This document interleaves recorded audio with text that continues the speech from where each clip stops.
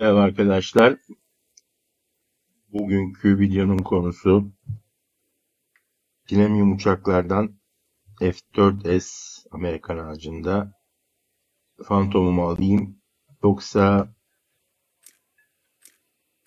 yoksa F-20A'yı mı alayım? Bunun cevabını vermeye çalışacağım. Bu arada F-20'yi görüyorsunuz hangara getirip koydum. Bu da e, geçen videoda e, mağazada dolar görmeye başlıyorsanız bunun sebebi nedir ve çözüm nedir diye bir videom vardı hatırlarsanız. O videoyu çektiğimde daha henüz sonuçlanmamıştı ama işte size anlattığım yöntem uyguladığım için o videoyu çektikten e, ertesi günü e, hemen sorunu çözdüler ve ben de 20 TL fiyatıyla almış oldum. Şimdi e, bu iki uçak arasında yani Amerikan ağacı için konuşuyorum. İşte en iyi alınacak uçaklar bu mudur diye bir video değil bu. Bu Amerikan ağacında bakın şu anda en üst seviyede iki tane alabileceğiniz uçak var. Birisi F-4S Phantom. Diğeri de F-20A. Birisinin BR'si 11.3, diğerininki 12. Birbirlerine yakın BR'deler. Yani bu uçak e, gerçekçi muharebelere girdiğinizde 12.3'leri gördüğü için F-20'yi zaten görüyor.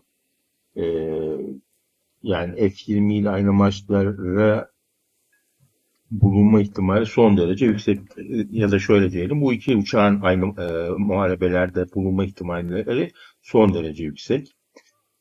E, sadece şeyi başarabilirsiniz. Sim modunda işte ayarlayarak ki onda bile e, e, bazı durumlarda aynı maçlara çıkabiliyorlar ama tabii F4 resik tutup 12 BRL uçaklarla e, şey mücadeleye getirmek hiç akıllıca bir şey değil. Ama birbirlerine çok yakın uçaklar. İkisi de saldırı jet. İkisinin de mühimmatında e, yani benzer mühimmatlar var. Şöyle bakalım. Ee, bir kere F4S'in çok ciddi bir mü mühimmat çeşitliliği var. Onu ben görebiliyorsunuz zaten. Bizi ilgilendirecek 7 F Sparrow'lara sahip ee, şey hmm, F4S'ler. Onun dışında 200 e, kaç 80 miydi? Yok pardon pardon 280 değil 190 190 tane Mighty Mouse olabiliyorlar. Bu önemli bir başka şey. Bol bol bomba yükü var. Ee, ve 9H e, kısa menzilli diyelim güdümlü füze kullanıyor. Yani 7F ve 9H var bu, bu tarafta. 7.20'ye gidiyoruz. Ee, 7.20'de 9L'ye ve 7F yani Sporov'ları aynı ama e, elinde 9L e, her yönden çalışan kısa menzili güdümlüler var. Bu tabii çok iyi bir şey. Bunlardan 6 tane alabiliyor. Bunu özellikle gerçekçi muharebelerde daha çok işinize yarar. Sim modunda e, neden çok işinize yaramayacağını söyleyeceğim biraz sonra. Yani yarayamıyor. Öyle değil. Şimdi yani işte, tabii şeyin bomba yükü F-20'nin pardon bomba yükü demeyeyim de mühimmat çeşitliliği F-4'te kıyaslanamayacak kadar e, az.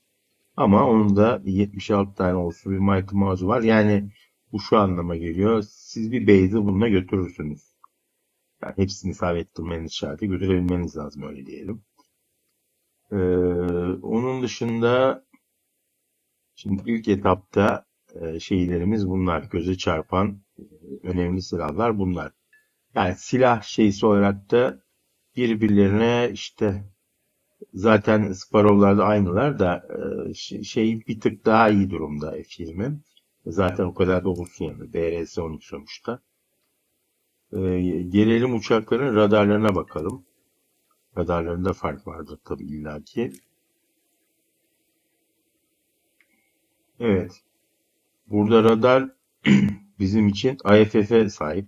Yani bu e, önünüzdeki düşman dost mu size bunu söylüyor. BVR özelliği var. Yani Beyond, Beyond Visual Range demek bu. E,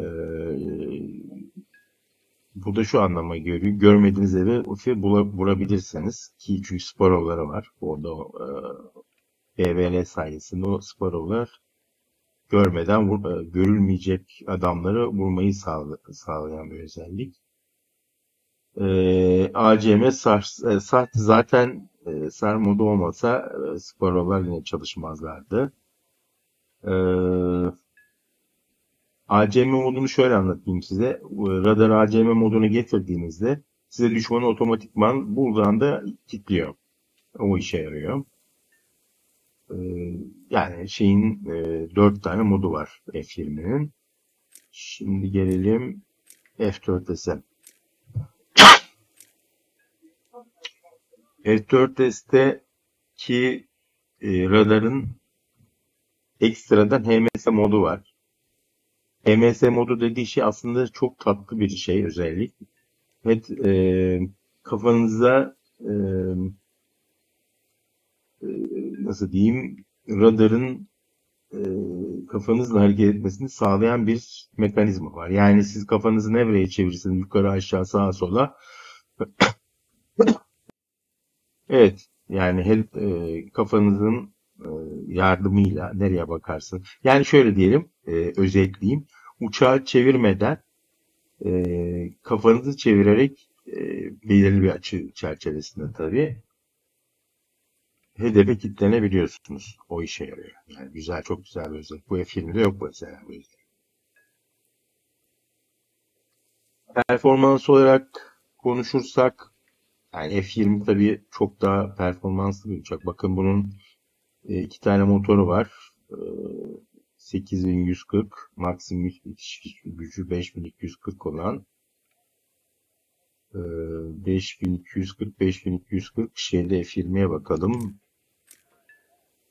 F20'de tek motor var. Ee,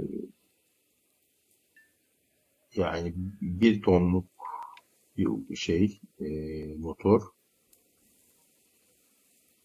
Bu da maksimum 5000 e, iç gücüne sahip. Ama şu cüssedeki bu, bu uçak için bu bir de yani uçağın yapısı falan göz önüne aldığımızda bu çok daha atak manevrası biraz daha iyi uçak. Bunun dönüş hızı 22 saniye. Phantom'a bakalım. Phantom'da o kadar. Onun, evet 26 saniye. Yani dönüş yeteneği e, Phantom'a göre daha iyi. Hız olarak F4S 2140 kilometreye çıkabilirken F20 F20'nin hızı 2000 yani hızları F20'nin bir tık daha fazla ama işte korkunç da fazla değil. Ee, tırmanma hızı 255'e 185 yani daha güçlü bir uçak olduğunu zaten tırmanma oranından anlayabiliyorsunuz F20'nin. Yani F20'nin ana üstünlükleri burada e, gizli. Ya da gizli demeyeyim de yani burada öne çıkıyor. Ama radar olarak da F4 gördüğünüz gibi bir tık daha iyi durumda. Ekstradan bir özelliği var. Şimdi araları 3 aşağı 5 yukarı aynı yani çok 50 lira bir fark var aralarında galiba. Şimdi siz bir tane uçak alacaksanız F20 mi almalısınız? Yoksa F4S mi almalısınız ve neden? Bunun nedeni. Ben size şunu söyleyeyim. Hiç tartışmaya girmeden direkt alacağınız şey F4S. Bunun çilamıcımı yok. F20 kusura bakmasın. Peki neden böyle? Neden böyle? Çünkü müthiş bir BR avantajına sahip. Bakın şimdi burada 11.3. Bakalım şansımıza etkinliklerde neymiş? Bakın bu şanssız bir e, günde ama hiç önemli değil. Bakın şeyden çıkayım şuradan. Şu anki odaların geçerlik süresi 1 gün 21 saat. Yani 1 gün 21 saat beklerseniz şu demin gördüğünüz BR aralığı değişecek.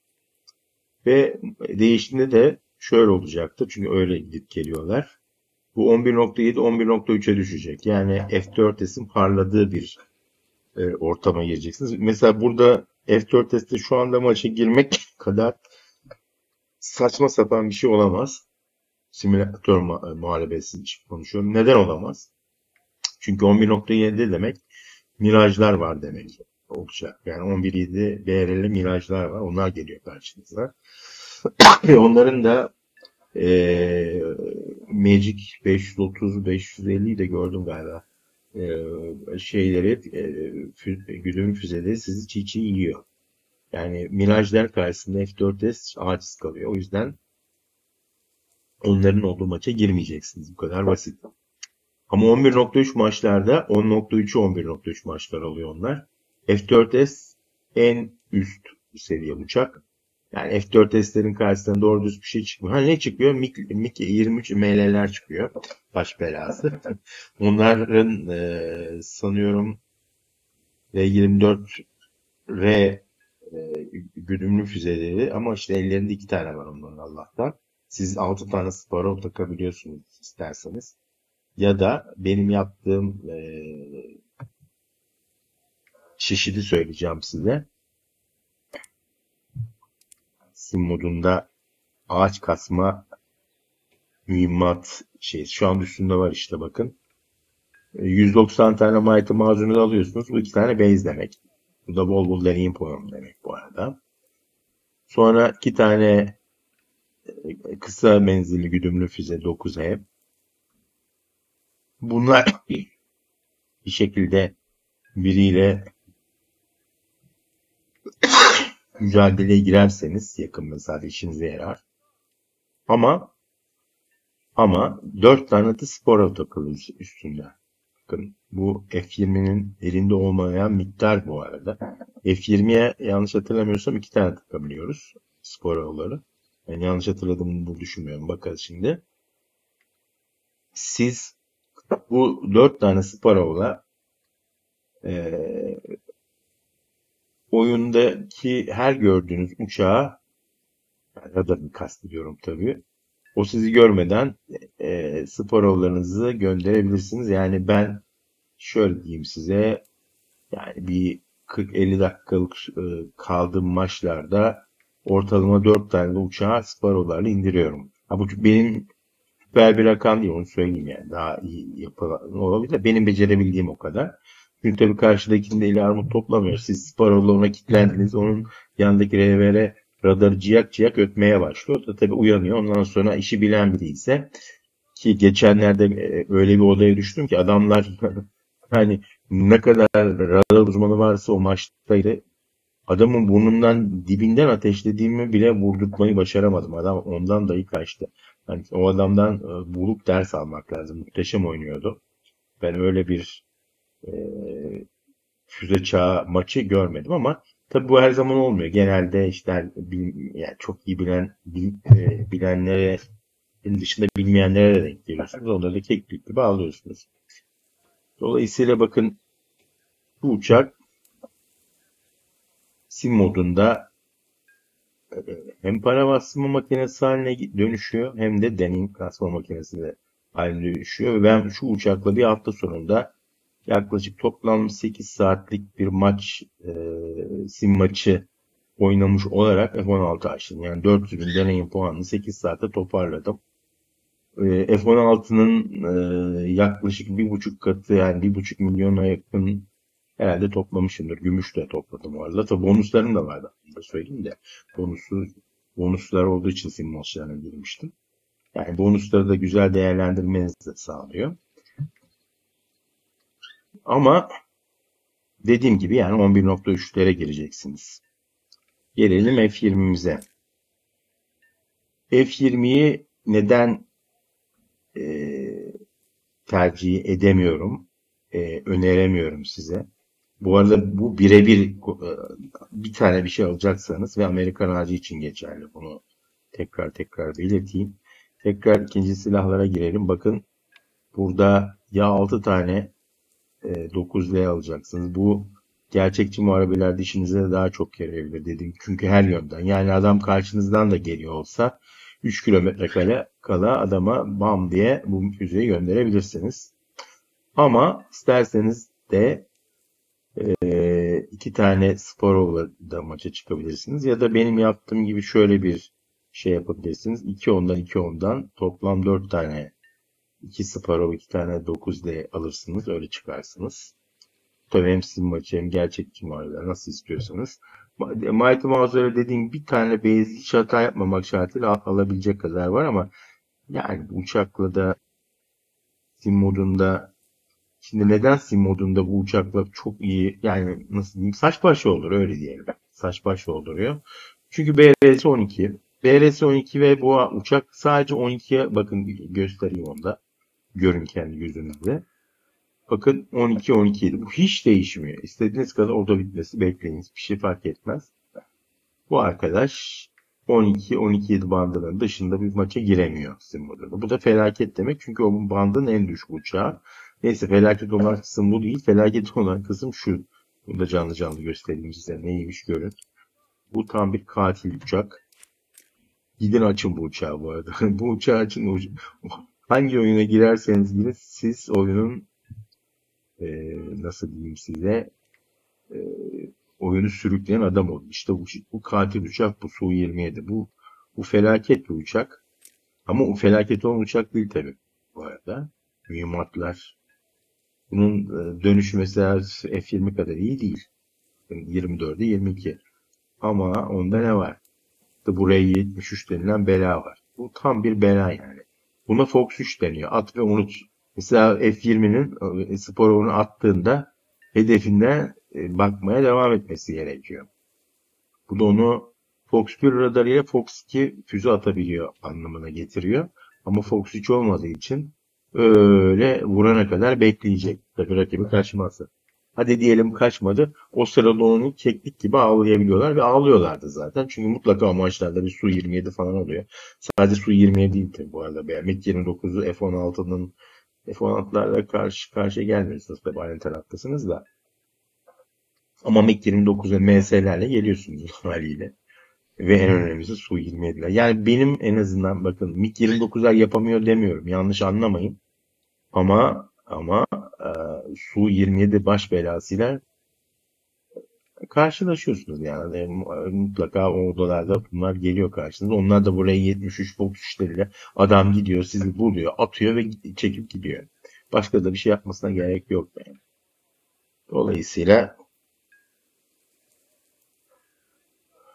yani F20'nin sim modunda oynar mısınız? Oynarsınız tabii yani e, premium hesabınız varsa şey korkunuz yok zaten. Yani ben zarar ettim korkunuz yok. 50, 50 tane uçak yaksanız sadece para kazanamamış olursunuz o maçtan. Size onun bedelini geri veriyor zaten ama ama yani insanın canı sıkılıyor tabii. Habire kafayı kaldı. Bam patladı. Ne ne vurdu? Beni R70. Kim vurdu? Su 27. Ay Allah'ım yarabbim deyip e, artık öğ geliyor vurulmakta.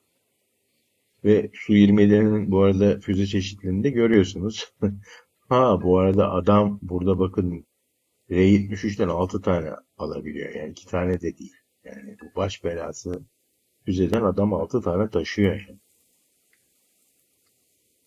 Ee, zaten bunun Fox 3'ün herhalde bir tek bu da değil. Bu e, uzaktan olanlar var. Yani sonuçta ha R27'ler mi uzaktan olanlar? Galiba onlar da evet. Bakın adamın şeysi 25 kilometreden kilitleniyor. 5.8'lik bir hızla gidiyor. 35 G'ye kadar da kurtulamıyorsun efendim. Yani F20 almayın kardeşim. Ya da alacaksanız neyle karşılaşacağınızı bilerek alın. Yani sinir olmak istiyorsanız. Ya Simol için söylüyorum bunu tabii. Gerçekçi muharebelere gelirsek. Daha gerçekçi muharebelerle ilgili çok büyük deneyimim olmadı. O yüzden çok büyük ahkam kesmek istemiyorum ama e, yani epey bir tecrübem olduğu için bu e, bu füzeleri 950'lerin güzel iş yapacağına eminim yani burada e, gerçekçi muharebelerde. yani spor alanlarınız gerçekçi muharebeler çok işinize yaramayabilir ama 9 değerler yarayacaktır. Neyse e, lafı çok uzattım. Epey bir saç baş oldunuz. Tabii bunları seyretmiyorsunuz eminim ama sonuçta e, soru şuysa eğer F20 mi F4S mi kesinlikle ve kesinlikle mutlak surette gidin F4S'e harcayın. Evet başka bir videoda görüşmek üzere. Şimdilik hoşçakalın.